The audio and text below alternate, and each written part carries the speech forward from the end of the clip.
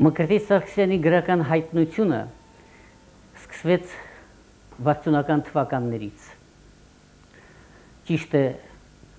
արդեն հրատարակել էր բանաստեղծական երկու ժողովածու,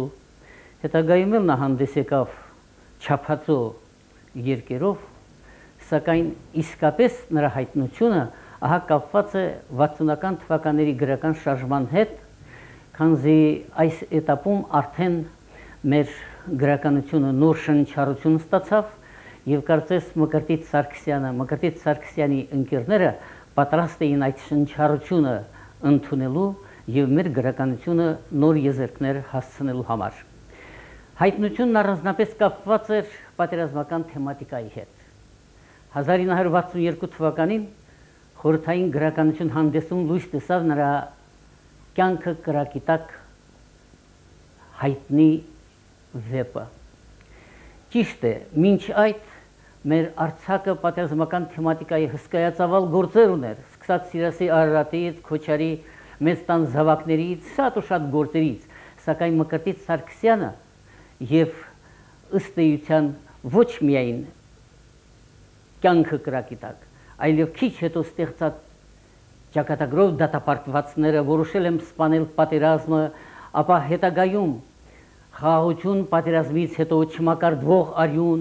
սերժանտ Կարո Քերեսիմոնը եւ այլ ստեղծագործություններով բացահայտ նոր խոսք ասած պատերազմի մասին, որն էր այդ նոր խոսքի արժեքը։ Մեր գրականության գեղագիտությունը առաջին հերթին պատերազմական թեմատիկայով Մկրտիչ Սարգսյանը խոսեց, ստեղծեց ճշմարտության արվեստը, ճշմարտախոսության արվեստը։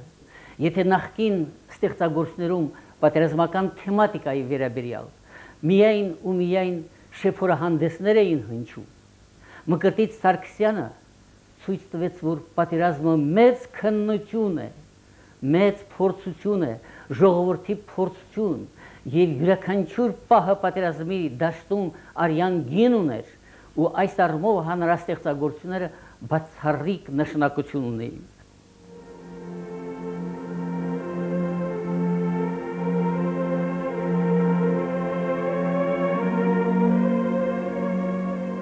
նա մեծ երկիծաբանի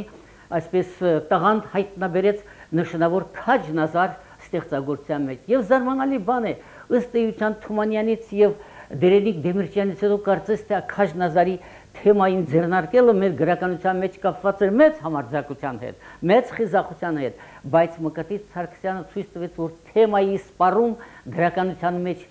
գոյություն ունի առհասարակ